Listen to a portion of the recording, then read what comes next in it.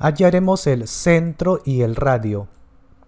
Para ello, primero los que acompañan al x. A ver, al x menos 2, ¿verdad? Como regla práctica, para colocar el centro, primero el que está al costado del x le cambiamos de signo. Acá era menos 2, ahora es más 2.